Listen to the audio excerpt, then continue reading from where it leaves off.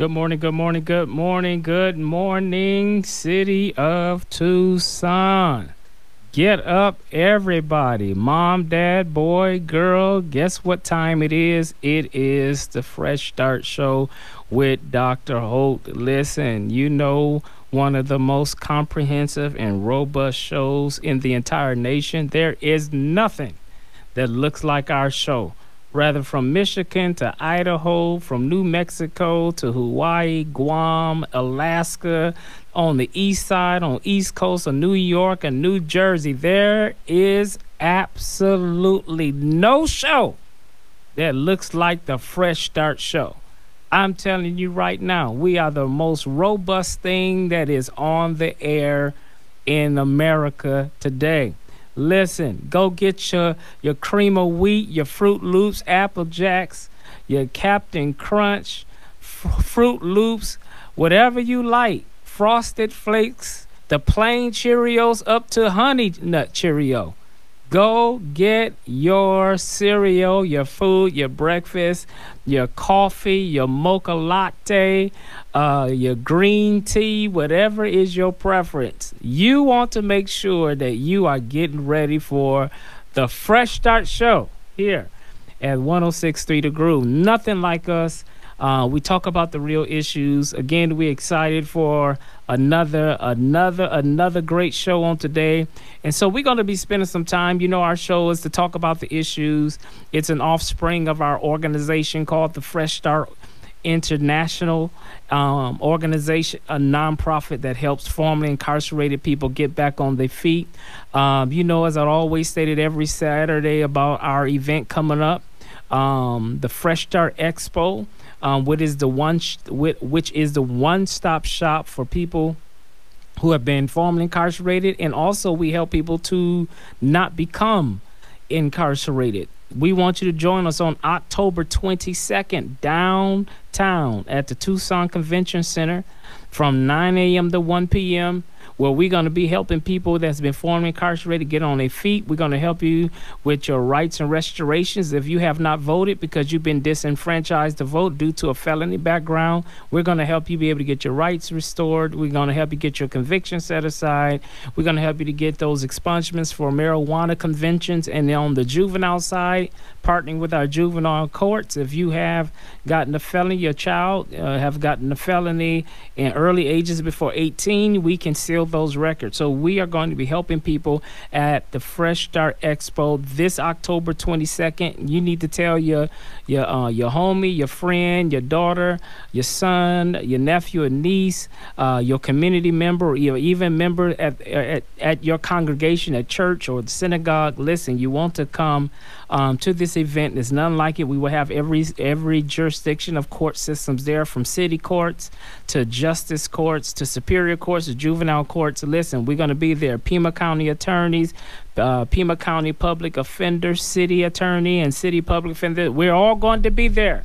Housing is going to be there. Second chance to help people get jobs with a felony background. We will be there this October 22nd. So keep your eyes out. Uh, keep your ears out. We will have, be offering free child care. So if you want to come down to the event you can't get anyone to babysit your child, bring your kids with you. We're going to put them in a secure place. And uh, the girls and uh, girls uh, Girl Scout clubs is going to work with us to offer that child care to make sure that your child is safe. So listen, it's going to be an awesome event. We will be doing haircuts, free haircuts, free hairstyles, um, primary care, mental health. All those vendors and partners is going to be there as well. So you don't want to miss it. The Fresh Start Expo this October on a Saturday morning from 9 a.m. to 1 p.m. Our mission is where everyone gets a new beginning, and we believe that on today. And so it's reentry on steroids, like nothing like what we do.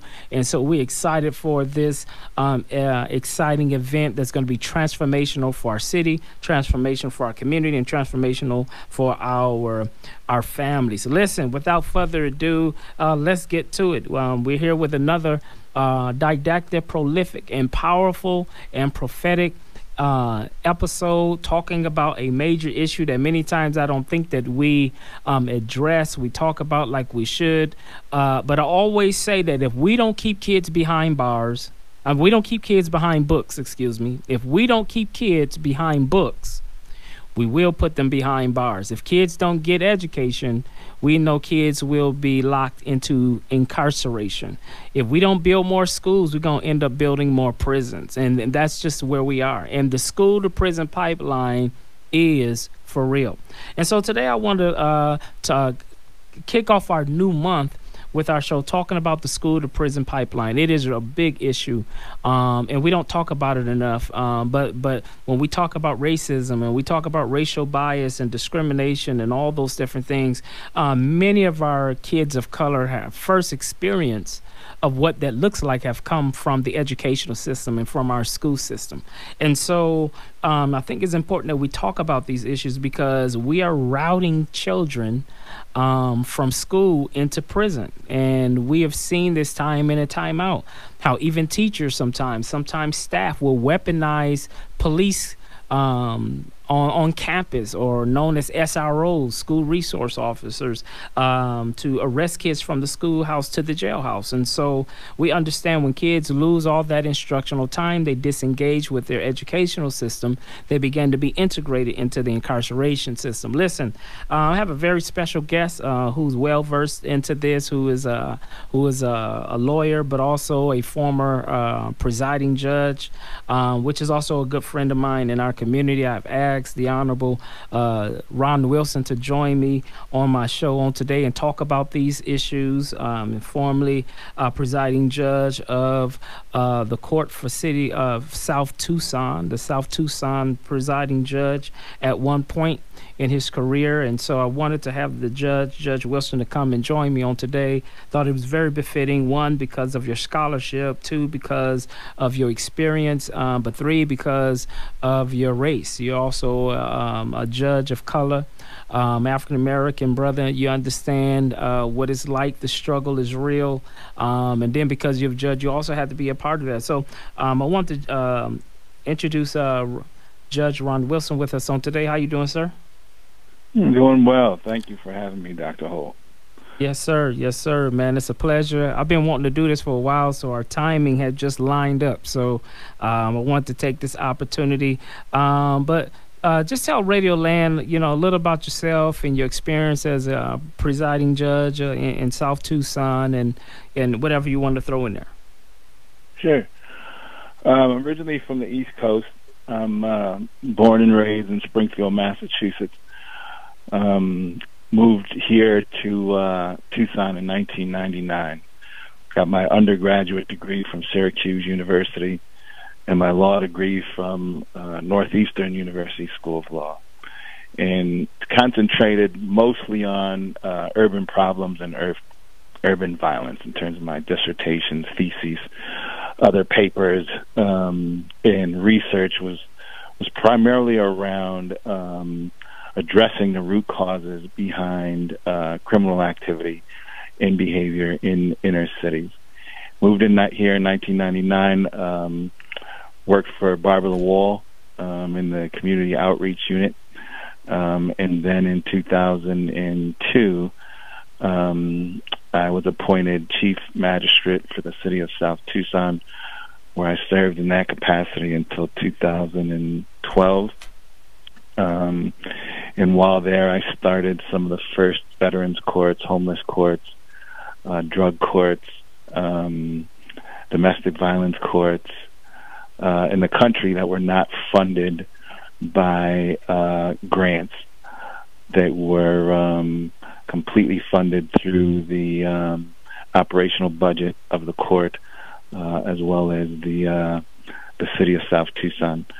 Um, during that time, I also taught courses at the University of Arizona on um, um, criminal justice, constitutional law, civil rights, Bill of Rights, African American studies, uh, and then I was the uh, I was a faculty member for the Arizona Judicial College and um, the national director for the American Bar Association's Judicial Division uh, Mental Health Court Committee.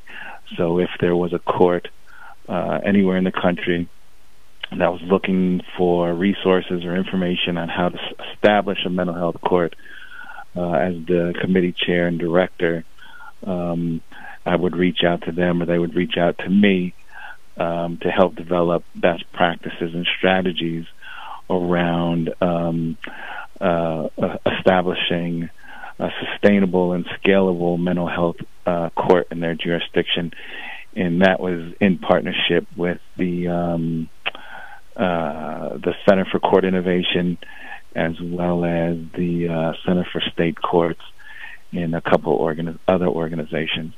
Right now, I uh, am a tribal court judge for two indigenous tribes, um, and I've been doing a lot of DEI work for uh, companies across the country, uh, mostly around social determinants of health and um, and addressing neurodiversity within uh, issues and prejudice, discrimination uh, within the uh, within a variety of systems, including public school system, education systems, uh, and the uh, the legal systems.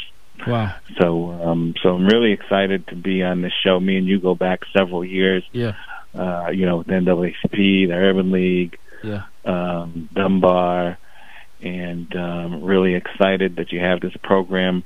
I know that it's making a difference in the lives of not only those that you serve, but um, you know their communities um, in which they reside, because we know that um, it's much better to have productive tax uh, paying, law abiding citizens living in our communities than individuals who are suffering from very various forms of trauma, uh, comorbidity, and as a result of the pain and trauma they suffer from, yeah. they engage in quality of life crimes. Yeah. Uh, um, or are homeless or uh, even unemployable. So, thank you for what you do uh, for our community. You are definitely part of the solution. Well, thank you, my brother. I really uh, appreciate that. And you're right, we do go back some years, and uh, you know, I thought this is a great opportunity. So, um, this is a short show, so I got about 12 minutes. So let me hit a few things um, that can make our, our show really uh, uh prolific and prophetic uh, for those who are. Um, really, you know, having a difficult time coming, you know, out of prison. You know, we have a lot of so-called organizations say they're doing a lot of reentry work, but we have a lot of people still suffering, and a lot of that those resources are not getting into many of the demographics uh, where it's really needed. And you know that when that happens, um, it impacts our recidivism rate. Um, but I want to go a little bit further into some of the root causes when we see a lot of these issues in the adulthood. I don't think, you know, Frederick Douglass said it's far easier to build strong children than to repair broken men. And I thought about, you know, when we talk about, you know, today, school to prison pipeline. Uh, as a judge, from your perspective and a lawyer, um, you know, uh, with a shorter span of uh, an answer, so we can hit a few more questions. How what what what would you say school to prison pipeline from your lens, legal lens, um, and some of the problems we see? Well, in terms of solutioning the the public school systems and even some of the private school systems, yeah. don't have the resources needed or necessary to address the complex issues that young people bring onto campus. And so without proper resources and without support from the local uh, elected uh, politicians, it's going to be very difficult, if not impossible, for um, school systems to you know turn the page or move the needle. The other issue that we very rarely talk about is the role that the judicial system plays in tearing apart families, yeah. uh, removing fathers from the home, uh, creating uh, ancillary and tertiary trauma, um, and being, you know, somewhat um, absentee in their responsibility to provide alternatives um, for these schools. Uh, you mentioned incarceration and turn, alternatives to incarceration, alternatives to juvenile detention that are going to provide young people who may not learn traditionally because they've got several barriers, as you mentioned, that they need to overcome, but can learn in an environment that is unique, uh, uniquely qualified to address um, the challenges that they encounter, and that whether those are mental challenges, emotional challenges, physical challenges, we don't have those institutions, enough of those institutions uh, around um, in the country, and definitely not in Tucson. Oh, wow, wow. Yeah, yeah. And so And what are your thoughts in regards to when we talk about school to prison pipeline, how that impacts students of color? Well, all the evidence and data shows that students of color are d- disproportionately impacted by this pipeline. I've read um, papers that have indicated private prisons are looking at test scores, yeah. uh, specifically of young people of color, in dis- determining how many prison beds they're going to need to build over the next 20 or 20 years based on the test scores of fourth graders. And so, um, and then when you look at who's testing into the, I would call it the incarceration or throwaway category, it's predominantly uh, African American men uh, or boys, yeah. black boys, uh, who are being raised without strong male role models um, in their community or in their household. Wow, wow, yeah, yeah. Because um, when I'm out, um, you know, teaching on trauma and talk about the race-based traumas um, that uh, African Americans and uh, Black and Brown children uh, experience, um, it's no secret, you know, that uh, they they are expelled uh, three to six times more, suspended three to six times more, um, and what what I've seen on my side, and you've probably seen on your side, is sometimes uh, school staff weaponize police to arrest kids of color. Have you seen that as well? I've seen that, and there's both implicit and explicit bias right. in how the um, code of conduct is interpreted uh, and enforced. And there's some significant disparities in the consequences um, that young black or brown boys receive versus um, you know predominantly white um, boys for committing the same infraction. In fact, they could be involved in the same event at mm-hmm. the same time. Yeah, exactly. And the black and brown kids are going to get expelled, um, and the Asian or Caucasian young men will um, get detention, or a parent might get called. And so, um, so yeah, that is a significant problem not just the weaponizing of the SROs, but the explicit implicit bias uh, that exists within these school systems and um, and how um, the consequences and the interpretation of these um, judicial codes of conduct um, are being uh, imposed on these young people, and there's no accountability for those hearing officers. There's no accountability in terms of the teachers or the administrators who are responsible for, um, you know, policing, uh, you know, this system. In fact, a lot of times they don't have any training at all on how to do it. They're just given it, given the responsibility because no one else wants to do it. Wow. Wow. Yeah, you're exactly right. So, what is your experience being um, a, a part of the judiciary on, on, in tribal courts right now? So, uh, tribal court is very different than a municipal court or a um, county or state trial court. Most tribal courts um, are looking to utilize uh, restorative justice as a way to resolve conflict. Tribal courts have a very deep understanding of tradition and heritage, elders, and ancestors, uh, and the role that their culture plays in addressing root causes. So problem solving isn't about uh, finding someone guilty, waving your finger at them, and then imposing some type of punishment.